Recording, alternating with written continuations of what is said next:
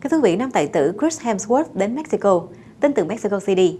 Nam tài tử người Úc Chris Hemsworth, nổi tiếng với vai diễn siêu anh hùng trong phim Thor, đã đến viếng thăm Mexico City trước một buổi lễ phát thưởng.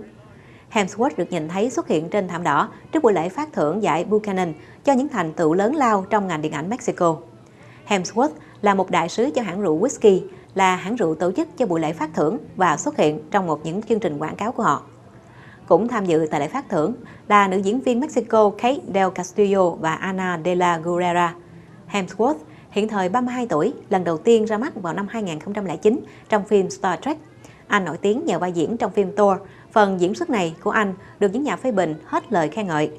Ngoài ra, anh cũng góp mặt trong bộ phim Snow White and the Huntsman cùng Kristen Stewart và Charlize Theron. Vợ anh, nữ diễn viên Elsa Pataki, gần đây tham dự bộ phim Fast Five. Elsa được nhiều người biết đến với vai diễn trong bộ phim Snake on the Plains.